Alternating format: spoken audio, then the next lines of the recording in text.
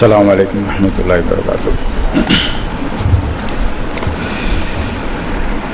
أعوذ بالله من الشيطان الرجيم விரட்டப்பட்ட ஷீத்தானுடைய தீங்கை விட்டும் அல்லாவிடம் பாதுகாப்பு தேடுகிறேன். பிஸ்மில்லா ரஹ்மான் ரஹீம்.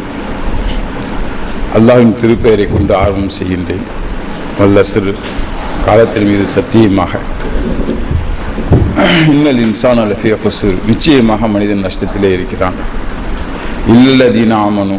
யார் ஓரிரை நம்பிக்கை கொண்டு வாமிலு சாலிஹாத் நற்செய்திகளை செய்து ஒத்தவா சோபில் ஹக் உண்மை மக்களிடத்தில் சொல்லி ஒத்தவா சோபி சப் அதில் ஏற்படக்கூடிய சிரமங்களில் பொறுமை கொள்கிறார்களோ அவர்களை தவிர. கால நபி ஸல்லல்லாஹு அலைஹி செல்லம் நபி சொல்லாஹ் அலைஹி செல்லம் அவர்கள் சொன்னார்கள் இன்னமல் ஆமாலும் செயல்கள் எல்லாம் எண்ணத்தை கொண்டே அமைகின்றன. ஒவ்வொரு மனிதனுடைய செயல்களும் அவனுடைய எண்ணம் எப்படி இருக்குமோ அதனுடைய அடிப்படையில் தான் அவனுடைய செயல்கள் அமைகின்றன. ஒரு மனிதனுடைய எண்ணம் தூய்மையானதாக இருந்தால் அவனுடைய செயல்களும் தூய்மையாக இருக்கும். மனிதனுடைய எண்ணங்கள் சீர்கெட்டிருந்தால் அவனுடைய செயல்களும் சீர்கெட்டதாக இருக்கும். பைபிளுடைய ஒரு வசனத்தை நான் படிச்சுட்டு என்னுடைய ஒரே ஆர்வம் செய்கிறேன் குருந்தியர் ஒம்போதில் பத்தொன்பது இருபது இருபத்தொன்று இருபத்தி ரெண்டு இருபத்தி மூணாவது வசனத்துல பவுல் பேசுறாரு நான் ஒருவருக்கும் அடிமையா அடிமை அடிமைப்படாதவனாய் இருந்தும் நான் அதிக ஜனங்களை ஆதாயப்படுத்தி கொள்ளும்படிக்கு என்னைத்தானே எல்லோருக்கும் அடிமையாக்கினேன். நான் யாருக்கும் அடிமை கிடையாது மற்ற மக்கள் ஆதாயப்படுத்திக் கொள்வதற்காக என்னை நான் அடிமையாக்கி கொண்டேன். யூதரை ஆதாயப்படுத்தி கொள்ளும்படிக்கு யூதருக்கு யூதனைப் போலவும் நியாய பிரமாணத்துக்கு கீழ்ப்பட்டவர்களை ஆதாயப்படுத்தி கொள்ளும்படிக்கு நியாய பிரமாணத்துக்கு கீழ்ப்பட்டவனைப் போலவும் ஆனேன். நியாய பிரமா நியாய பிரமாணம் இல்லாதவர்களை ஆதாயப்படுத்தி கொள்ளும்படிக்கு அவர்களுக்கு நியாய பிரமாணம் இல்லாதவனைப் போலவும் ஆனேன். அப்படி இருந்தும் நான் தேவனுக்கு முன்பாக நியாய பிரமாணம் இல்லாதவனாய் இல்லாமல் கிறிஸ்துவின் பிரமாணத்துக்கு உள்ளவனாகவே இருந்தேன். பலவீனரை ஆதாயப்படுத்திக் கொள்ளும்படிக்கு பலவீனருக்கு பலவீனனை போல ஆனேன். எப்படியாகவும் சிலரை ரச்சிக்கும்படிக்கு நான் எல்லோருக்கும் எல்லோரும் எல்லோரும் ஆனேன். சுவிசேஷத்தில் நல்லா கொஞ்சம் கவனமா கேட்டுங்க. சுவிசேஷத்தில் நான் உடன் பங்காளியாகும்படிக்கு அதன் நிமித்தமே இப்படி செய்கின்றேன். இது பவுலுடைய வாக்குமூலம். சுவிசேஷத்தில் பைபிளில் தன்னை ஒரு பங்காளியாக ஆக்கி கொள்வதற்காக நான் பலவிதமான வேஷங்களை இடுகின்றேன் அப்படிங்கிறத அவருடைய ஒப்புதல் வாக்குமூலம். அவருடைய அவருடைய சுவிசேஷம் பவுலுடைய சுவிசேஷம். அதுக்கு அடுத்தபடியாக ரோமர் மூணுல சொல்றாரு நான் மனுஷர் பேசுகின்ற பிரகாரமாக பேசுகின்றேன். நம்முடைய அநீதி தேவனுடைய நீதியை விளங்க பண்ணினால் என்ன சொல்லுவோம்? கோபாக்கினியை செலுத்துகின்ற தேவன் அநீதியராக இருக்கின்றார் என்று சொல்லலாமா? அப்படி சொல்லக்கூடாது. சொல்லுக்கும் சொல்லும் கூடுமையானால் தேவன் உலகத்தை நியாயம் தீர்ப்பது எப்படி? அன்றியும் என் பொய்யினாலே தேவனுடைய சத்தியம் அவருக்கு மகிமை உண்டாக்குமையா உண்டாக்க உண்டாக்க விளங்கினதுண்டானால் இனி நான் பாவி என்று தீர்க்கப்படுவானேன். நான் பொய் தான் சொல்லுறேன் அப்படின்னு தெளிவாக சொல்றார்.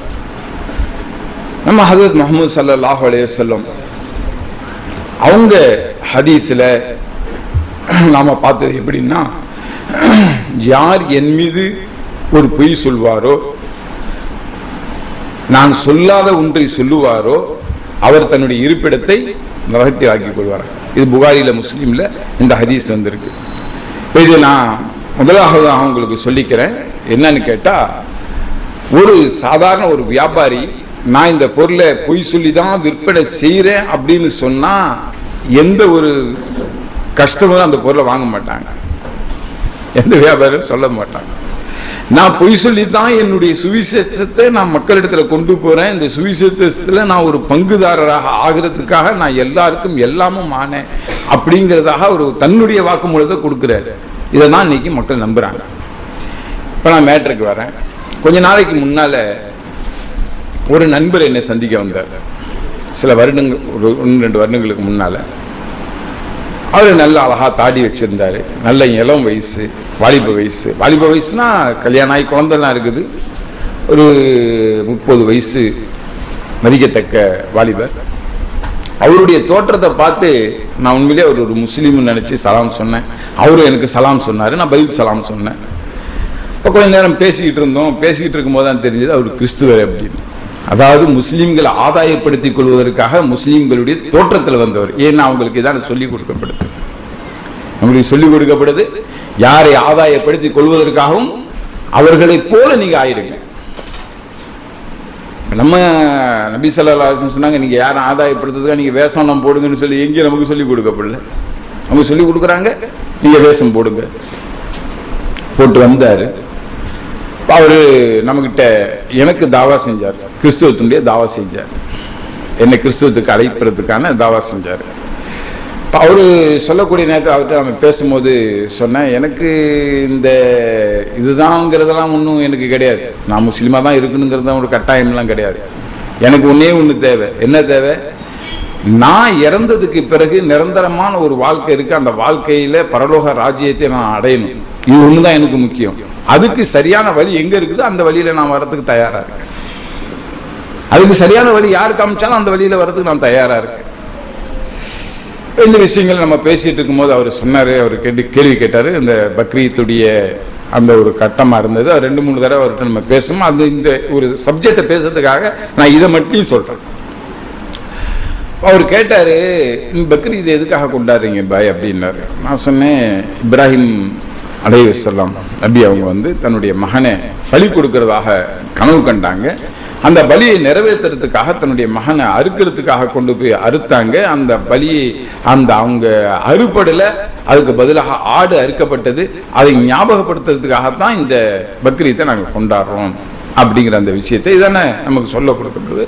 சொன்னேன் சொன்னாரு இல்லை பாய் அப்படி கிடையாது. அல்லாஹ் வந்து இஸ்மாயிலுடைய பலியை ஏற்றுக்கொள்ளல அப்படின்னு கேட்டார். ஆமாம் ஏற்றுக்கல. நான் இதுதான் நான் உங்கள்கிட்ட சொல்ல வரேன். கர்த்தர் வந்து அல்லாஹ் வந்து அவர் அல்லானே சொன்னார் அல்லானே பேசினாரு. அல்லாஹ் வந்து இஸ்மாயிலுடைய பலியை ஏற்றுக்கலை இஸ்மாயிலுடைய பலியை ஏற்றுக்கலை ஏன் ஏற்றுக்கலை அப்படின்னு சொன்னால் ஆதம்ல ஒரு பாவம் நிகழ்ந்தது. ஆதாமால ஒரு பாவம் நிகழ்ந்தது. அந்த பாவம் அவருடைய இந்திரியத்தின் வழியாக அந்த சந்ததி சந்ததிகளாக வந்து கொண்டிருக்குது. அந்த பாவ பலியை இறைவன் ஏற்றுக்கொள்வதற்கு தயாராகல. ஆனா இயேசு அவரு பிறந்தது தகப்பன் இல்லாம பிறந்தார்.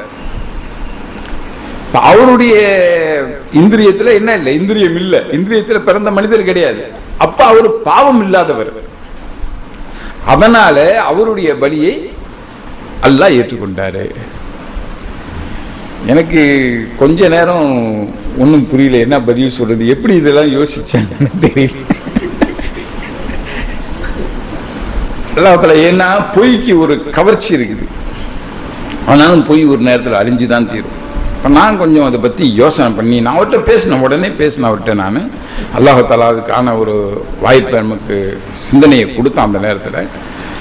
இப்போ நான் முதல்ல அவர்கிட்ட பேசின விஷயம் இருக்கு. இப்போ நான் உங்களுக்கு அது விளக்கங்களை வந்து சொல்றதுக்காக இந்த விஷயத்த சொல்றேன். முதலாவது அந்த பாவம் நிகழ்ந்தது எப்படிங்கிறத பைபிள் என்ன சொல்லுதுங்கிறத இப்போ நம்ம பார்ப்போம்.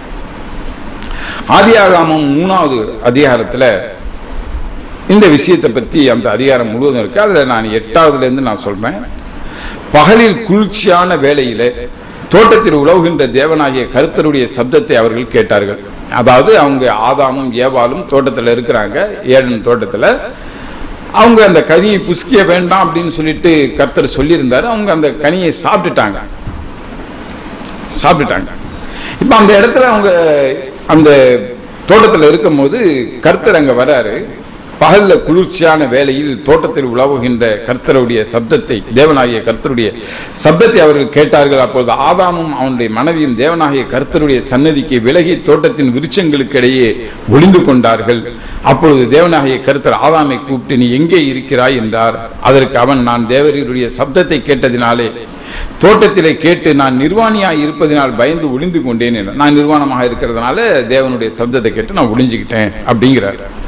அப்பொழுது அவர் கர்த்தர் கேட்கிறாரு நீ நிர்வாணி என்று உனக்கு அறிவித்தவன் யார்? புசிக்க வேண்டாம் என்று நான் உனக்கு விளக்கின விருட்சத்தின் கனியை புசித்தாயோ? இதெல்லாம் பல கேள்வி இருக்குது ஆனா நம்ம அதுக்குள்ளெல்லாம் போகல. ஏன்னா கடவுளுக்கு இவர் கனியை புசிச்சாருங்கிறதே தெரியாம இருக்குது அப்படிங்கிற ஒரு விஷயம்லாம் இதில் நம்ம பேசலாம். நம்ம அதுக்குள்ளெல்லாம் போக வேண்டாம். அதற்கு ஆதாம் என்னுடைய இருக்கும்படி தேவரீர் தந்தை ஸ்திரியானவள் அந்த விருட்சத்தின் கனியை எனக்கு கொடுத்தால் நான் புசித்தேன் என்றான். அந்த பெண்ணு தான் எனக்கு அந்த கனியை கொடுத்தா நான் சாப்பிட்டேன். அப்போது தேவநாயக கருத்தர் ஸ்திரியை நோக்கி நீ இப்படி செய்தது என்ன? என்றார். ஸ்திரியானவள் சர்ப்பம் என்னை வஞ்சித்தது நான் புசித்தேன் என்றால் சர்ப்பம்னா பாம்பு. அப்பொழுது தேவநாயக கர்த்தர் சர்பத்தை பார்த்து நீ இதை செய்தபடியால் சகல நாட்டு மிருகங்களிலும் சகல நாட்டு சகல காட்டு மிருகங்களிலும் சபிக்கப்பட்டிருப்பாய். நீ உன் வயிற்றினாலே நகர்ந்து உயிரோடு இருக்கும் நாளெல்லாம் மண்ணை தின்பாய். இது சாபம். பாம்புக்கு கருத்தர் கொடுத்த சாபம். உன்னுடைய வயிற்றினாலே நகர்ந்து மண்ணை தின்பாய் அப்படிங்கிறது சாபம். பாம்பு மண்ணை திங்குதாரெல்லாம் கேட்காதீங்க. அதான் நம்ம கேட்கக்கூடாது. பாம்பு மண்ணா திங்குது திங்காது. உனக்கும் ஸ்திரிக்கும் உனது வித்துக்கும் அவள் வித்துக்கும் பகையை உண்டாக்குவேன். அவர் உன் தலையை நசுக்குவார் நீர் அவர் குதிங்காலை நசுக்குவார் என்றார். காலால அந்த குதிங்காலால அந்த பாம்புடைய தலையை அந்த ஸ்திரீ நசுக்குவாங்க. இந்த பாம்பு அவங்க குதிகால நக்கும். இது அவங்களுக்கு அந்த பாம்புக்கு கொடுத்த கருத்தர் கொடுத்த சாபம். சரி, அது ஒரு பக்கம். அவர் ஸ்திரியை நோக்கி நீ கர்ப்பவதியாக இருக்கும் பொழுது இது சாபம். அந்த பெண்ணுக்கு கொடுக்கப்பட்ட சாபம். அவருடைய ஸ்திரியை நோக்கி நீ கர்ப்பவதியாக இருக்கும்போது உன் வேதனையை மிகவும் பெருக பண்ணுவேன். வேதனையோட பிள்ளை பெறுவாய். உன் ஆசை உன் புருஷனை பற்றி இருக்கும் அவன் உன்னை ஆண்டு கொள்வான் என்றார். பின்பு அவர் ஆதாமை நோக்கி உன் மனைவியின் வார்த்தைக்கு செவி கொடுத்து புசிக்க வேண்டாம் என்று நான் உனக்கு விளக்கின விருட்சத்தின் கனியை புசித்தபடியினாலே பூமியில் உன் நிமித்தம் சபிக்கப்பட்டிருக்கும். நீ உயிரோடு இருக்கும் நாளமெல்லாம் நாளெல்லாம் வருத்தத்தோட அதன் பலனை புசிப்பாய். அதாவது கஷ்டப்பட்டு தான் நீ சாப்பிடுவா. அப்படிங்கக்கூடிய ஒரு விஷயத்தை சாபத்தை கொடுக்கிறார். அடுத்து சொல்றாரு அது உனக்கு முள்ளும் குறுக்கும் முளைப்பிக்கும் வெயிலின் பயிர் வ- பயிர் வகைகளை புசிப்பாய். நீ பூமியிலிருந்து எடுக்கப்பட்டிருப்பாயால் நீ பூமிக்கு திரும்ப மட்டும் உன் முகத்தின் வேர்வையால் ஆகாரம் புசிப்பாய். நீ மண்ணாய் இருக்கிறாய் மண்ணுக்கு திரும்புவாய். நீ மண்ணா இருக்கிற மண்ணுக்கு திரும்புவேன்னு சொல்லிட்டாரு. அதாவது என்னன்னாக்கா நீ இதை கனியை புசிச்சதுனால நீ பூமியில உன்னுடைய வேர்வையை சிந்தி கஷ்டப்பட்டு தான் நீ சாப்பிடணுங்கக்கூடிய ஒரு நிலைமை உனக்கு ஏற்படும். உனக்கு உண்டா இருக்கும். நீ கஷ்டப்பட்டு தான் சாப்பிடுவ. இது ஆணுக்கு கொடுக்கப்பட்ட சாபம். அடுத்து ஆதாம் வந்து தன் மனைவிக்கு ஏவாள் என்று பெயரிட்டாள். ஏனென்றால் அவள் ஜீவனுள்ளோருக்கெல்லாம் தாயானவள். தேவனாகிய கருத்தர் ஆதாமுக்கும் அவன் மனைவிக்கும் தோல்வி உடைகளை உண்டாக்கி அவர்களுக்கு உடுத்தினார். பின்பு தேவனாகிய கருத்தர் இங்க நல்லா கவனிக்கணும் நம்ம. பின்பு தேவனாகிய கருத்தர் இதோ மனுஷன் நன்மை தீமையை அறியத்தக்கவனாய் நம்மில் ஒருவரை போல் ஆனான். அது வரைக்கும் நன்மை தீமைன்னு என்னன்னு தெரியாது. நன்மையை தீமையை அறியத்தக்கவனாய் நம்மளில் ஒருவரை போல் ஆனான். இப்பொழுது அவன் தன் கையை நீட்டி ஜீவ விருட்சத்தின் கனியையும் பறித்து புசித்து என்றைக்கும் உயிரோடு இடா இராதபடிக்கு செய்ய வேண்டும் என்று விஷயம் நல்லா விளங்கணும். ஒரு கர்த்தர் ஒரு விஷயத்தை முடிவு செய்கிறார் அப்படின்னா அவர் அதனுடைய ஒரு தீர்க்கமான ஒரு முடிவு அவருக்கு கட்டளைக்கு மீறி ஒரு காரியத்தை செய்ய முடியாது. மனிதனை படைக்கும் போதே கருத்தர் எப்படி படைக்கிறார்னா கட்டுப்படக்கூடிய தன்மையும் மாறுபட தன்மையும் சேர்த்து தான் படைக்கிறார். நல்லா படைக்கணும் அப்படிதான். அதே மலக்குமார்கள் இருக்காங்க அவங்களுக்கு மாறு செய்யக்கூடிய தன்மைங்கிறது கிடையாது. இறைவன் ஒரு வார்த்தையை சொல்லிட்டான் அப்படின்னாக்கா அதை அப்படியே தான் செய்வாங்க. அதுக்கு மாற்றம் செய்யறதுக்கு அவங்களுக்கு தெரியவே தெரியாது. ஆனா மனிதனை அல்லாஹால படைக்கிறான் கருத்தர் படைக்கிறார் எப்படி படைக்கிறார் அப்படின்னா அவன் கட்டுப்படக்கூடிய தன்மையும் அவனுக்கு இருக்கும் மாறுபடக்கூடிய தன்மையும் வச்சு படைக்கிறார். இங்கதான் வித்தியாசம். இப்ப அதை டெஸ்ட் பண்றாரு அந்த இடத்துல. பாவம் செஞ்சது உண்மைதான். இது குரானும் ஒத்துக்குது. பாவம் செஞ்சிருக்கிறாங்க அப்படின்னுட்டு. அந்த அவங்க என்றைக்கும் உயிரோடு இருக்கும் இருக்க இருந்துவிடக் கூடாது செய்ய வேண்டும் என்று தேவன் செய்த வேலைங்கிறதா இது சொல்றாரு. இது தேவன் செஞ்ச வேலை. முதல் விஷயம். அதுக்கு பிறகு அவர் மனுஷனை துரத்தி விட்டு அவர் ம- அவன் மண்ணை எடுக்கப்பட்ட அவன் எடுக்கப்பட்ட மண்ணை எந்த மண்ணை எடுத்த மனிதனை இறைவன் படைத்தானோ கருத்தர் படைத்தாரோ அது சொல்றார் அந்த இருபத்தி மூணாவது வசனத்துல வருது அவன் எடுக்கப்பட்ட மண்ணை பண்படுத்த தேவனாகிய கருத்தை அவன் அவனை ஏதன் தோட்டத்தில் இருந்து அனுப்பிவிட்டார். எங்க அனுப்பிட்டார்? பூமிக்கு. பூமியிலிருந்து மண் எடுத்து படைக்கப்பட்ட மனிதன் பூமியை பண்படுத்தணும் பூமியை சிலிப்பாக்கணும் பூமியில இந்த சந்ததிகள் உருவாகணும் பூமியில இப்படிப்பட்ட நிகழ்வுகள் ஏற்படணுங்கிறதுக்காக என்ன செஞ்சிட்டாரு? மீண்டும் அனுப்பிச்சிட்டாரு. இது ஒரு பக்கம். இப்ப நம்ம கிட்ட உள்ள ஒரு கேள்வி என்னன்னு கேட்டா இயேசு அதாவது மனிதர்கள் அந்த ஆதி பாவத்தோடவே பிறக்கின்றார்களா? இதுக்கு பைபிள்ல என்ன சொல்லப்பட்டிருக்குது அப்படின்னு இந்த வசனத்தில் எடுத்துக்கும் போது அப்படியே இவங்க சொல்லக்கூடிய கருத்தின் பிரகாரம் அந்த கனியை புசிச்சதனால பாவம்னு ஒன்று ஏற்படுமே ஆனால் பாவம்ங்கிறது ஏற்ப அந்த ரத்தத்தில் இருக்குமே ஆனால் அது ஆணுக்கும் பெண்ணுக்கும் சேர்ந்துதான் இருக்கும். ஆணும் பெண்ணும் ரெண்டு பேரும் தான் சாப்பிட்டுருக்காங்க. ஒரு குழந்தை உருவாகுதுன்னா வெறும் இந்திரியத்தால மட்டுமே ஒரு குழந்தை உருவாகலை. ஆண் பெண் இந்தியனும் கலக்கப்பட்ட நிலைமையில தான் ஒரு குழந்தை உருவாகுது. குரான் அதை சொல்லுது. ஆண் பெண் இரண்டு இந்திரியங்களும் கலக்கப்பட்ட இன்னைக்கு சார் விஞ்ஞானம் சார் அதை வந்து நிரூபிக்குது.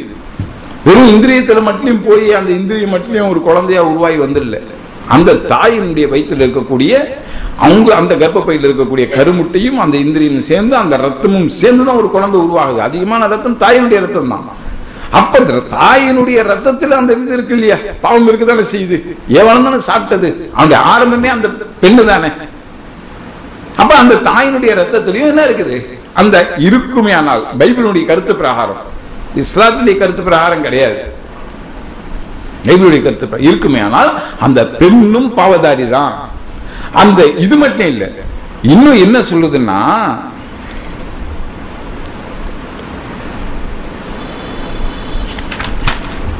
இன்னும் என்ன சொல்றாருன்னா யோபுங்கக்கூடிய வசனத்துல யோபுங்கக்கூடிய அதிகாரத்துல ஸ்திரீகளிடத்தில் பிறந்தவர் சுத்தமாக இருப்பது எப்படின்னு கேட்கிறாரு.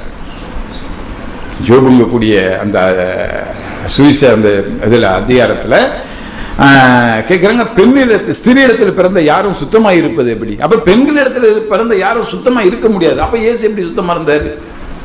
அவர் எப்படி பரிசுத்தமானவர்னு எப்படி சொல்ல முடியும்? சொல்ல முடியாது இல்லையா? நான் என்னுடைய இது கருத்தை சொல்லல குரானுடைய கருத்தை சொல்ல இஸ்லாத்துடைய கருத்தை சொல்ல பைபிளுடைய கருத்தை நான் சொல்றேன். அவருக்கு பரிசுத்தமா எப்படி இருந்தார்? பரிசுத்தமா இருக்கிறதுக்கான வாய்ப்பே இல்லை. அடுத்தது இப்படி ஒரு விதமாக அந்த மாதிரியே வச்சுக்கிட்டாலும் ஒரு விதத்தில் வாதத்துக்காக அவர் இதுக்காகத்தான் இந்த ப- ப- அனுப்பப்பட்டாரு.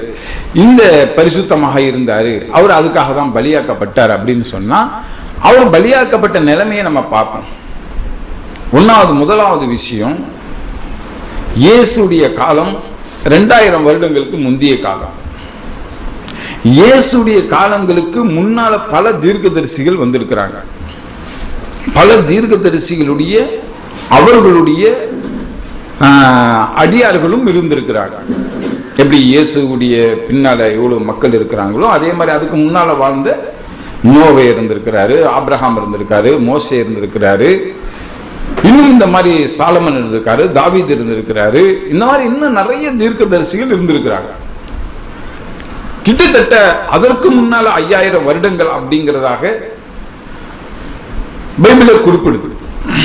அப்ப இவ்வளவு காலங்கள்ல வந்தவங்களுக்கு யாருக்குமே இந்த சிலுவை பலிங்கிற ஒரு விஷயமோ சிலுவையில பலியாக்கப்படணுங்கக்கூடிய ஒரு விஷயமோ அதுக்கு முன்னால வாழ்ந்த யாருக்குமே தெரியாது. அதை பத்தி முன்னால உள்ள பழைய ஏற்பாட்டுல எந்த ஒரு இதுமே இல்லை. இப்ப இவங்களுடைய நிலைமை என்ன? இயேசு இப்ப இவங்க என்ன சொல்றாங்கன்னா இயேசு என்னுடைய பாவத்துக்காக சிலுவையில் அறையப்பட்டார்னு நம்பிட்டீங்கன்னா நீங்க வெற்றி- வெற்றி அடைஞ்சிட்டீங்கிறாங்க இப்போ நம்ம நம்ம இப்போ நம்ம நான் நம்பிட்டேன் அப்படின்னு சொன்னால் நான் வெற்றி அடைஞ்சிட்டேன் அப்படின்னு சொன்னால் எனக்கு முன்னால் வாழ்ந்த பல தீர்க்கதரிசிகள் சாதாரண மக்களை விட்டுருங்க. அவங்களாம் நரகவாசிகள். தீர்க்கதரிசிகளுக்கு இது தெரியாதே. சிலுவை மரணங்கிறது ஒன்று இருக்குங்கிறது. அவங்களுடைய நிலைமை என்ன அப்படிங்கிறதுக்கு எந்த பதிலும் இல்லை. நான் கேட்டேன் அவங்க கிட்ட அவங்களுடைய நிலைமை என்ன அப்படின்னு கேட்கும்போது அதுக்கு எந்த பதிலுமே அவங்களால என்ன செய்ய முடியல. சொல்ல முடியல.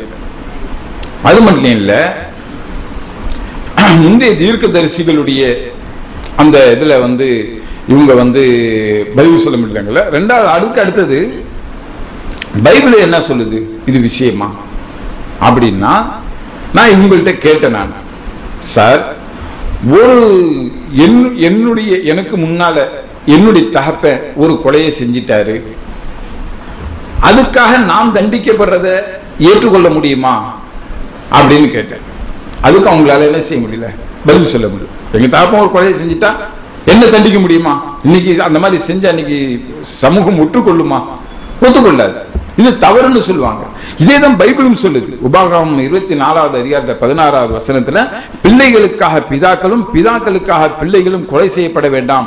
அவனவன் செய்த பாவத்தின் நிமித்தமே அவனவன் கொலை செய்யப்பட வேண்டும். அவனவன் செஞ்ச பாவத்துக்கு தான் அவன் தண்டிக்கப்படணும். யாரோ செஞ்ச பாவத்துக்கு நான் எப்படி தண்டிக்கப்படுவேன்? நான் எப்படி அதுக்கு பொறுப்புதாரி ஆக முடியும்? அப்படின்னா ஆக முடியாது. இதுக்கு மேல அதுக்கு அடுத்ததாக இன்னும் அவங்க கிட்ட கேட்டேன்.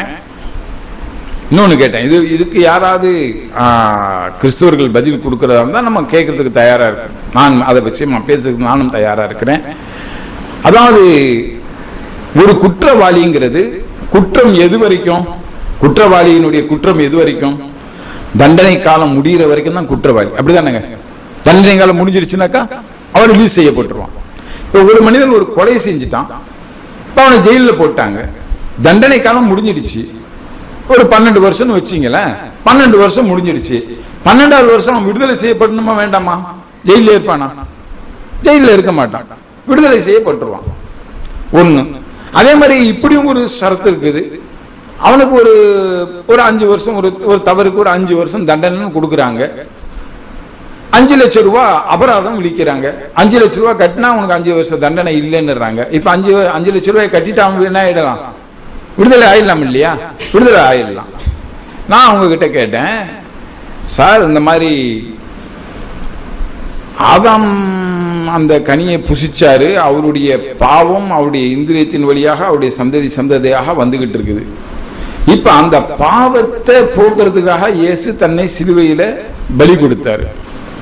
அப்படிதான் இல்லையா இயேசு தன்னை சிலுவையில பலி கொடுத்தாரு. பலி கொடுத்த உடனே என்ன ஆயிடுது? தண்ட பரிகாரம் கொடுத்துட்டாங்க. பணத்தை கொடுத்த உடனே முடிஞ்சு போச்சு இல்ல விடுதலையா இன்னும் இல்லையா? பலி கொடுத்ததுக்கு பிறகு இந்த பூமிக்கு தண்டனை அனுபவிக்கிறதுக்கு தானே ஆதாம் வந்தார் இந்த பூமிக்கு? பூமிக்கு எதுக்கு அனுப்பப்பட்டார் ஆதாம? தண்டனை அந்த பழத்தை சாப்பிட்டதுக்காக தண்டனைக்காக தானே பூமிக்கு அனுப்பப்பட்டாரு. பலி கொடுத்தோன்னு தான் பாவம் நீங்கி போச்சே. திரும்ப பூமியில என்ன வேலை இருக்கு? ஆனா நாங்க தான் இதை ஒத்துக்கல பூமியில இருக்கிறோம். ஒத்துக்கிட்டு நீங்களாவது சொர்க்கத்துக்கு போக வேண்டியதான் நீங்க இருந்துகிட்டு என்ன வேலை செய்யுங்க எங்களை மாதிரி நீங்களும் கஷ்டப்படுறீங்க. வெயில்ல மழையில குளிர்ல பசியில பட்னியில தாகத்துல. எங்களை மாதிரி தான் நீங்களும் கஷ்டப்பட்டுக்கிட்டு இருக்கீங்க? தண்டனை முடிஞ்சா நீங்க சொர்க்கத்துக்கு போக வேண்டிய ஆள் தானே? பூமியில ஏன் கஷ்டப்படணும்? புரியுதுங்களா உங்களுக்கு? கஷ்டப்பட வேண்டியது கஷ்டப்பட்டு இருக்கிறோமே. இதுக்கும் பதில் இல்லை. சரி ஹைர் அலமதுல்லா பலிங்கிறது என்ன? விரும்பி ஏற்பதா நிர்பந்திக்கப்படுறதா? இப்ப இந்த சம்பவத்தை நான் முதல்ல சொல்ல வந்த இந்த சம்பவத்தை நான் சொல்றேன். இஸ்மாயில் அலைஹிஸ்ஸலாம் அவங்கள பலி கொடுக்கறதுக்காக கொண்டு போகப்பட்டது. அவங்களுடைய வாதத்தின் பிரகாரம் அவருடைய பாவ இந்திரியத்தில் பிறந்ததுனால அவருடைய பலியை கருத்தர் ஏற்றுக்கொள்ளல.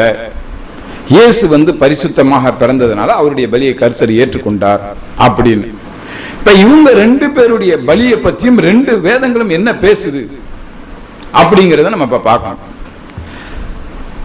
முதலாவது இஸ்மாயில் அலைஹிஸ்ஸலாத்தை பத்தி குரான் சொல்றது என்ன?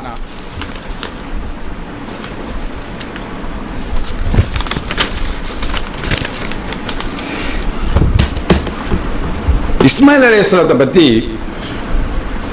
இப்ப இந்த சம்பவம் முஸ்லீம்களா இவங்க எல்லாருக்கும் தெரியும். அவங்க பாலைவனத்துல இப்ராஹிம் அலைஹிஸ்ஸலாம் அவங்களால பாலைவனத்துல கொண்டு போய் விடப்பட்டவங்க அவங்க தாயாரும் மகனுமாக சின்ன கை குழந்தையாக இருக்கும் பொழுது கொண்டு போய் விட்டுட்டு ஆப்ரஹாம் வந்துடுறார். இப்ப தாயும் மகனும் தான் அந்த பாரான் தேசம் ஆமா பாரான் தானே? பாரான் அந்த பாலைவன பகுதியில் அவங்க தாயும் மகனும் தான் இருக்கிறாங்க. இப்படியாக அந்த குழந்தை ஒரு ஆறு அல்லது ஏழு வயசு வரைக்கும் அந்த குழந்தை வளருது. வளர்ந்ததுக்கு பிறகு ஆப்ரஹாம் இப்ராஹிம் கூடிய அலையுசல்லாம் அவங்க ஒரு கனவு காண்றாங்க. என்ன கனவு காண்றாங்கன்னா உங்களுடைய மகனை அறுத்து எனக்காக பலி கொடுங்க அப்படிங்கிறதாக அல்லாஹு தாலா அவர் கனவின் மூலமாக அறிவிக்கிறான்.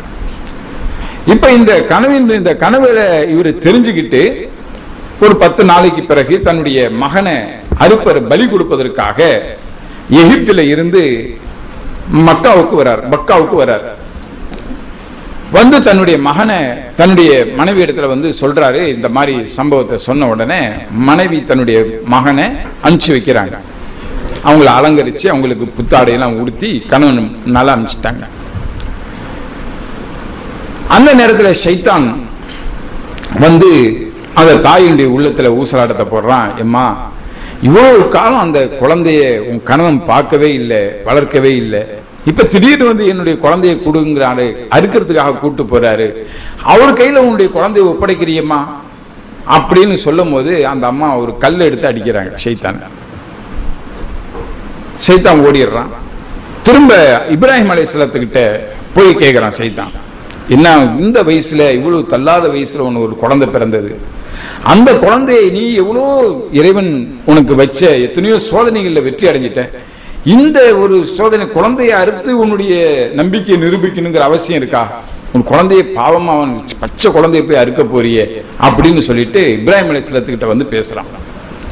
இப்ப இப்ராஹிம் அலைஹிஸ்ஸலாம் ஒரு கல் எடுத்து அடிக்கிறாங்க. மூணாவதாக இஸ்மாயில் அலைஹிஸ்ஸலாத்துக்கிட்ட வந்து குழந்தை ஒரு ஏழு அல்லது ஆறு அல்லது ஏழு வயசு குழந்தை சின்ன பையன் அந்த பையன்கிட்ட வந்து பேசுறான். உன்னுடைய தாப்பா உன்னை எங்க கூட்டு போறாரு தெரியுமா? உன்னுடைய கழுத்தை அறுக்கிறதுக்கு கூட்டு போறாரு ரத்தத்தை வெளியாக்குறதுக்காக கூட்டு போறாரு. இப்ப அந்த இஸ்மாயில் அலைஹிஸ்ஸலாமும் ஒரு கல் எடுத்து அடிச்சாங்க. அதனாலதான் இப்ப ஹஜ்ஜுக்கு போகக்கூடியவங்க ஹஜ் முடிச்சுட்டு வரக்கூடிய கடமைகள்ல ஒரு கடமை என்னன்னா அந்த மூணு இடங்கள்லயும் அவங்க கல் அடிச்சதை ஞாபகார்த்தமா கல்லால அடிக்கணும். கல்லால் அடிக்கணும். ஏன்னா சைத்தான் வந்து ஊசலாட்டம் போடுறான். நீங்க போகாதீங்கும் போது அந்த தாயும் தகப்பனும் மகனும் மூன்று பேருமே அதுக்கு மாற்றமாக பலி ஆகிறதுக்கு பலி கொடுக்கறதுக்கு தயாராகிறாங்க. இதான் பலியினுடைய தாத்பரியம். தயாராகிறாங்க. பின்வாங்கல. தடுக்கிறாங்க. இவங்க பின்வாங்கல. இவங்க முன் போகிறாங்க. முன்னால போறாங்க. அதோட மட்டும் இல்ல அந்த சம்பவத்தை அல்லாஹால குரான்ல சொல்றான். எப்படி சொல்றான்னா முப்பத்தி ஏழாவது அதிகாரத்துல நூத்தி ரெண்டாவது வசனம். பின் அந்த மகன் அவருடன் நடமாடக்கூடிய வயதை அடைந்த போது வயசு அல்லா தலா சொல்ல நடமாடக்கூடிய வயசுங்கிறான் அல்லா தலா அவர் கூறினார் என் அருமை மகனே நான் உன்னை அறுத்து பலியிடுவதாக நிச்சயமாக கனவு கண்டேன். இதை பற்றி உன் கருத்து என்ன என்பதை சிந்திப்பீராக. நான் உன்னை அறுத்து பலியிடுறதா கனவு கண்டேன்? இதுல உங்களுடைய கருத்து என்னங்கிறத சொல்லு அப்படின்னு கேட்கிறாங்க என் அருமை தந்தையே மகன் சொல்றார். யார் சொல்றாரு? இஸ்மாயில் அலிஸ்லாம் சொல்றார். என் அருமை தந்தையே நீங்கள் ஏவப்பட்டபடியே செய்யுங்கள். அல்லாஹ் நாடினால் என்னை நீங்கள் பொறுமையாளர்களில் நின்றும் உள்ளவனாகவே காண்பீர்கள். கத்தியால இருக்கிறதுக்கு. சின்ன பையன் நடமாடக்கூடிய வயசுங்கிற அல்லாஹ் தலா ஹதீஸ்ல ஆறு அல்லது ஏழு வயசுங்கிறதாக சொல்லப்பட்டிருக்கு. அந்த சின்ன பையன் சொல்ல பலியாகிறதுக்கு தயாராகிறான். நான் என்ன அருங்க? எப்படி அருங்க? அது ஹதீஸ்ல வந்திருக்கு. நீங்க மகனுங்க கூடிய பாசம் உங்களுடைய உள்ளத்துல வந்துடக்கூடாது. அதனால உங்களுடைய கண்ணை கட்டிக்கிட்டு என்னுடைய கழுத்துல ஒரே வெட்டா வெட்டி என்ன கொலை செஞ்சிருங்க அப்படின்னு மகன் ஏன்? பலியாகிறதுக்கு தயாராகிறது. இன்னைக்கு உலக விஷயத்திலே நம்ம பாக்குறோங்க கலைஞரை கைது பண்ணி உள்ள வச்சுட்டாங்க. தொண்டர்கள் என்ன செய்யறாங்க பார்க்குறோம் இல்லையா அது மார்க்கத்திலேயோ உலகத்துல யாருமே அதை ஏற்றுக்கொள்ளலை. அது செய்யக்கூடாது. ஆனாலும் அந்த உத்வேகம் ஒரு உணர்ச்சி பூர்வம் என்ன ஆகுது? தலையில வந்து மண்ணெண்ணெயை தூக்கி ஊத்திக்கிட்டு கொளுத்திக்கிட்டு இதன் தலைவர் வாழ்க கலைஞர் வாழ்க கலைஞர் வாழ்க கலைஞர் வாழ்கன்னு சொல்லிக்கிட்டே செத்து ஜெயலலிதாவை கைது பண்ணிட்டா?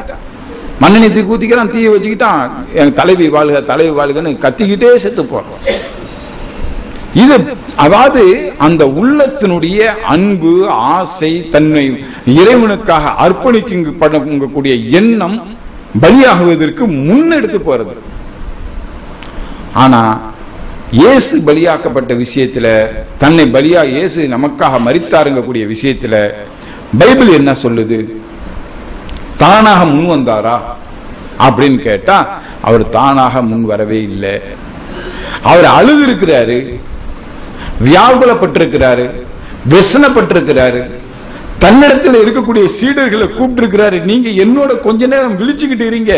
என்னுடைய உள்ளம் மரணத்துக்கு ஏதுவாக துக்கம் கொண்டிருக்குதுன்னு என்ன சொல்றாருன்னு பாருங்க மத்திய இருபத்தி ஆறுல அப்போது இயேசு அவர்களோட கெட்சமனே எனப்பட்ட இடத்திற்கு வந்து சீசர்களை நோக்கி நான் அங்கே போய் ஜெம்பம் பண்ணும் மலவும் நீங்கள் இங்கே உட்கார்ந்தீர்கள் என்று சொல்லி பேதுருவையும் செபேத்தேவையும் குமாரர் இருவரையும் கூட்டிக் கொண்டு போய் துக்கமடையவும் வியாகுலப்பட வியாகுலப்படவும் தொடங்கினார். ரெண்டு பேரை கூட கூட்டுக்கிட்டு போய் வச்சுக்கிட்டு என்ன செய்யறாரு துக்கப்படுறாரு. வியாகுலப்படுறாரு. அதாவது அதுக்கு என்னங்க சொல்றது? வியாகுலப்படுறதுங்கிறதுக்கு துக்கம்.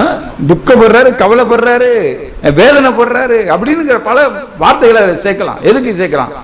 சொல்லிட்டு அப்போது அவர் என் ஆத்மா அப்ப சொல்றாரு அவர் என் ஆத்மா மரணத்துக்கு மரணத்துக்கு ஏதுவான துக்கம் கொண்டிருக்கிறது. நீங்கள் இங்கே தங்கி என்னோடு கூட விழுத்திருங்கள் என்று கூறினார் என்று சொல்லி சற்று அப்புறம் போய் முகம் குப்புற விழுந்து என் பிதாவே என்ன கேட்கிறாரு? நான் பலியாகணும். என்னுடைய பலியை ஏற்றுக்கொள்ளுங்க. அப்படிங்கிறது கேட்கல அவர். என்ன கேட்டாரு அப்படின்னு சொல்லுது. பைபிள் பேசுது அப்படின்னு சொன்னா என் பிதாவே இந்த பாத்திரம் என்னை விட்டு நீங்க கூடுமானால் நீங்கும்படி செய்யும். சொல்லுங்க. இவர் நமக்காக பலியானாரா? ஒரு உண்மையிலே பலியாக்க பலி கூடிய ஆசைப்பட்டு போனாரா? சொன்னாரு என்னுடைய தேவனே ஆஹ், என் பிதாவே இந்த பாத்திரம் என்னை விட்டு நீங்க கூடுமான நீங்கும்படி செய்யும். ஆகிலும் என் சித்தத்தின்படி அல்ல உம்முடைய சித்தத்தின்படியே ஆக கடவுது என்று ஜெபம் பண்ணினார். இது பண்ணும் ஜெபம் பண்ணும் அளவுக்கு இங்கே உட்காந்துருங்கன்னு அவங்க படுத்து தூங்கிட்டாங்க. அவங்க படுத்து தூங்கிட்டாங்க. அது அதை பத்தி இன்னும் நிறைய வருது. நான் சொ- ரொம்ப நீட்டமாக போகக்கூடாதுன்னு இதையே வந்து மத்தேயும் சொல்றாரு மார்க்கும் சொல்றாரு லூக்காவும் சொல்றாரு. லூக்காவும் இதையே பேசுறாரு. இதே மாதிரி கொஞ்சம் மாற்றத்தை மாற்றத்தோடவே மூணு சுவிசேஷக்காரங்களும் அவர் அந்த உண்மை அந்த நேரத்தில் வந்து என்னோட இருங்க அப்படின்னு சொல்லிட்டு இவர் போய் இருந்துட்டு தனியா இருந்து ஜெபம் பண்ணது அழுதது அவர் வியாகுலப்பட்டது துக்கப்பட்டது என்னுடைய என்னை விட்டு இந்த பாத்திரம் நீங்க கூடுமானால் அவ்வாறே நீங்க கடவுது அப்படின்னு சொல்லி கேட்டது என்னை விட்டு இந்த பாத்திரத்தை நீக்கிடுங்க இந்த கஷ்டத்தை நீக்கிடுங்கன்னு சொல்லி ஜெபம் பண்ணது. இதெல்லாம் மூணு பேரும் சொல்றாங்க. இதுக்கு அடுத்ததாக அவரை கூட்டிக்கிட்டு பிடிச்சிட்டு கூட்டிட்டு போகக்கூடிய நேரத்தில் அவரை சிலுவையில் அறையப்பட்டதுக்கு பிறகு அவர் இயேசு சொன்னதாக பைபிளில் மூன்று பேர் மத்தேயும் மார்க்கும் இதை பதிவு செய்கிறாங்க ஒன்பதாம் மணி நேரம் மத்திய இருபத்தி ஏழு நாற்பத்தி ஆறாவது வசனத்துல ஒன்பதாம் மணி நேரத்தில் இயேசு ஏலி ஏலி லாமா சபக்தானி ஏலி ஏலி லாமா சபக்தானி என்று மிகுந்த சப்தமிட்டு கூப்பிட்டார். அதற்கு என் தேவனே என் தேவனே என்னை ஏன் கைவிட்டீர் என்று அர்த்தமாம். சொல்லுங்க. பலி ஆக்கப்பட்டாரா அவரு? பலி தன்னைத்தானே பலி ஆக்கி கொண்டாரா சிலுவையில் அறையப்பட்ட நேரத்துல சிலுவையில் இருந்துகிட்டு அவர் சொன்னாராம் ஏலி ஏலி லாமா சபக்தானி ஏலி ஏலி லாமா சபக்தானி தேவனே என் தேவனே என்னை ஏன் கைவிட்டீர்? என்னை ஏன் கைவிட்டீங்க? நான் தான் கேட்டேனே என்னை விட்டு நீக்கிருப்பா அந்த பாத்திரத்தை.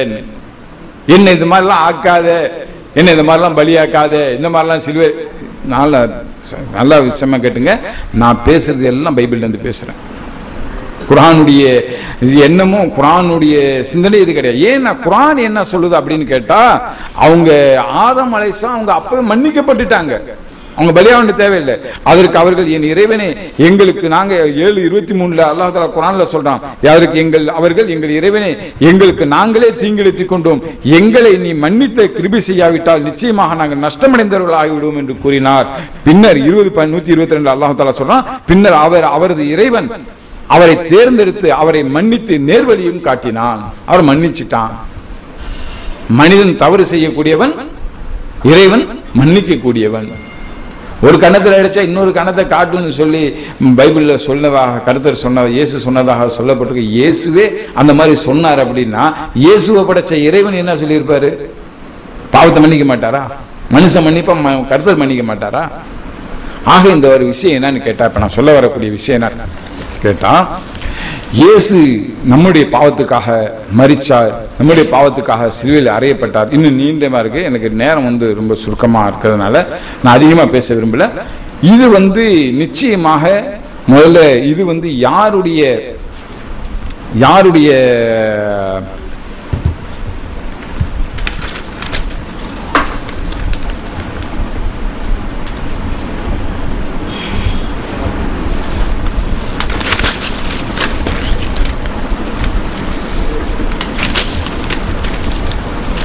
இது யாருடைய இயேசு சிவில் அறையப்பட்டார்னா இப்போ அந்த இதை நான் எடுக்க மறந்துட்டேன். அந்த நம்பர் மறந்துடுச்சு. ஆனால் நம்பர் இல்லை என்கிட்ட இப்போ. தேவைப்பட்ட அந்த நம்பரை நான் சொல்கிறேன் அப்புறமே. பவுல் சொல்றாரு என் சுவிசேஷத்தின்படி இயேசு மறித்து இரண்டாம் நாள் உயிர் உயிர்ப்பித்து எழுந்தார். இது வந்து அநேகமாக ரோமர்ல இருக்குன்னா இல்ல ஆஹ், இருக்குது. நான் பார்த்தேன் இப்ப எடுத்து படிச்சேன் நான் குருந்தியரில். என்னுடைய சுவிசேஷத்தின்படி இயேசு மறித்து இரண்டாம் நாள் உயிர் தெழுந்தார் என்றும் நீங்கள் விசுவாசம் கொள்ளுங்கள் அப்படின்னு பவுல் சொல்றார். யாருடைய சுவிசேஷத்தின்படி? பவுலுடைய சுவிசேஷத்தின்படி. பர்ணபாசனுடைய ரெண்டு பேரும் ஒரே ஆள் ரெண்டு பேரும் ஒன்றாக இருந்த நண்பர்கள். பர்னபாசும் பவுலும் ரெண்டு பேரும் நண்பர்கள்.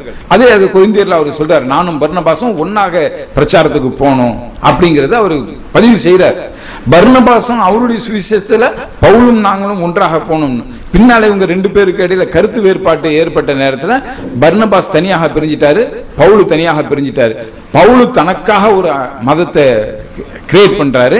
அந்த கிரியேட் பண்றதுல தான் அவர் என்ன செய்யறாரு சிலுவை மரணத்தை கொண்டுட்டு வர்றாரு. சிலுவை மரணத்தை அவரு கொண்டுட்டு வர்றாரு. யார் கொண்டு வரா பவுலு கொண்டு வர்றாரு. ஆனா சிலுவை மரணங்கிறது உண்மையிலேயே கிடையாது. உண்மையிலே சிலுவை மரணங்கிறது கிடையாது. இத பர்ணபாஸ் இவரு கூட இருந்த பர்ணபாஸ் என்ன செய்யறாரு அதை அவர் எடுக்கவே இல்லை. அவர் என்ன எழுதுறார்? பர்ணபாசுடைய சுவிசேஷத்துல என்ன வருதுன்னா பவுலுடைய சுவிசேஷத்துல இயேசுடைய சிலுவை மரணம் வருது. பர்ணபாசுடைய சுவிசேஷத்துல என்ன வருது அப்படின்னு சொன்னா அவர் அந்த நேரத்துல அவர் பின்பக்கமாக அவர் தப்பி சென்றார். வானத்தில் அவர் உயர்த்தப்பட்டார். கர்த்தருடைய மந்திரிகளான மீக்காயிலும் கேப்ரியலும் அவரை உயர்த்தி கொண்டார்கள். பர்னபாஸ் விசேஷத்தில் இருக்குது. அவரை உயர்த்தி கொண்டார்கள். அவனை காட்டு கொடுக்கக்கூடிய பேதருடைய முகம் மாற்றப்பட்டது. அப்படிங்கிற அந்த விஷயங்களை அவர் அவரு கொண்டுட்டு வர்றாரு. அப்ப அதுல என்னன்னு கேட்டா தனக்காக ஒரு கூட்டத்தை சேர்க்கறதுக்காகவும் தனக்காக ஒரு விஷயத்தை கிரியேட் பண்றதுக்காகவும் அதையும் அவர் சொல்றாரு அதெல்லாம் நீண்ட விஷயங்கள் இருக்கு. ஏன்னா அதுக்காகவும் என்ன செய்யப்பட்டது? இப்படி ஒரு விஷயங்களை உண்டாக்கப்பட்டது. இயேசு நம்முடைய பாவங்களுக்காக பலியாக படல அவர் சிலுவையில் அறையப்படல. சிலு இன்னும் பின்னாலேயும் இருக்கு. சிலுவையில் அறையப்பட்டது மட்டும் இல்லை அவர் அடக்கம் செய்யப்பட்டது அவர் மீண்டும் உயிர்ந்தெழுந்ததுல ஏகப்பட்ட குழப்பங்கள் இதுல இருக்குது. என்ன அதனால யாரும் இந்த விஷயத்தை நம்ம அதை குறிப்பாக முஸ்லிம்களுக்கு சொல்லக்கூடிய விஷயம் என்னன்னு கேட்டா இயேசு அல்லாஹ் குரான்ல சொல்றான் இதோட நான் முடிச்சிடுறேன் நான். அல்லாஹ் தஆலா குரான்ல சொல்றான் ஈசா அலைஸ்லத்துடைய மௌத்தை பத்தி நான் இயேசுவை பத்தி பேசுறேன். இப்போ ஈசா அலைஸ்லத்தை பத்தி பேசுறேன். குரான்ல சொல்லியிருக்கு ஈசா அலைஸ்லம் ஈசாவை நிராகரித்து அவர் கொள்ளை திட்டமிட்டு சதி செய்தார்கள். அல்லாஹும் சதி செய்தான். தவிர அல்லாஹ் சதி செய்பவர்கள் மிகச் சிறந்தவன் ஆவான். மூணு ஐம்பத்தி நாலு ஐம்பத்தி அஞ்சு. ஈசாவே நிச்சயமாக நான் உம்மை கைப்பற்றுவேன். இன்னும் என்னளவில் உம்மை உயர்த்திக் கொள்வேன் நிராகரித்துக் கொண்டிருப்போரின் பொய்களில் நின்றும் உம்மை தூய்மைப்படுத்துவேன். மேலும் உம்மை பின்பற்றுவோரை கியாமத்து நாள் வரை நிராகரிப்போருக்கு மேலாக ஆக்கி வைப்பேன். பின்னர் உங்களை திரும்புதல் என்னிடமே இருக்கிறது. அப்ப நீங்கள் தர்க்கம் செய்து கொண்டிருந்ததை பற்றி நான் உங்களிடையே தீர்ப்பளிப்பேன் என்று அல்லாஹ் கூறியதை நபியை நீர் நினைவு கூறுவீராக. இன்னும் நாலு நூத்தி ஐம்பத்தி ஏழுல நிச்சயமாக நாங்கள் அல்லாஹுடைய தூதராகிய மரியமின் குமாரராகிய ஈசா மசிகை கொன்று விட்டோம் என்று அவர்கள் கூறுவதாலும் அவர்கள் சபிக்கப்பட்டனர். அவர்கள் அவரை கொல்லவும் இல்லை அவரை சிலுவையில் அறையவும் இல்லை. ஆனால் அவர்களுக்கு அவரை போன்ற ஒருவன் ஒப்பாக்கப்பட்டான். மேலும் இந்த விஷயத்தில் அபிப்பிராய பேதம் கொண்டவர்கள் அதில் சந்தேகத்திலே இருக்கிறார்கள். வெறும் யூகத்தை பின்பற்றுவதே அன்றி அவர்களுக்கு இதில் எத்தகைய அறிவும் கிடையாது. நிச்சயமாக அவர்கள் அவரை கொல்லவே இல்லை. இதுதான் இஸ்லாத்தினுடைய கொள்கை. இது குரானுடைய கொள்கை. அல்லாஹ் தாலா சொல்லியிருக்கிறது. அவர் கொல்லலைங்கிறது. இப்போ யாராவது ஒரு முஸ்லீம் அவர் இங்க சொன்ன மாதிரி இயேசு என்னுடைய பாவத்துக்காக மறிச்சார் அப்படின்னு சொல்லி ஏற்றுக்கொண்டா அவங்க ஏன்னா அவங்க இயேசுன்னு நம்ம கிட்ட சொல்றது இல்ல நம்ம கிட்ட பேசும்போது ஈசா அலைஹிஸ்ஸலாம்னே சொல்றாங்க. என்ன நம்புனா என்ன ஆயிடுறாங்க? அவங்களுடைய ஈமான் பறி போயிடுது. அதனால இந்த விஷயங்கள்ல முஸ்லீம்கள் கவனமாக இருங்க. இன்னும் தேவைப்பட்டா இன்னும் நிறைய விஷயங்கள் இருக்குது இந்த விஷயங்கள்ல. இன்ஷால்லா நமக்கு நேரம் கிடைச்சா வேண்டும். மீண்டும் சில விஷயங்களை பத்தி உங்கள்கிட்ட நான் பேசுறதுக்கு நான் விரும்புறேன்.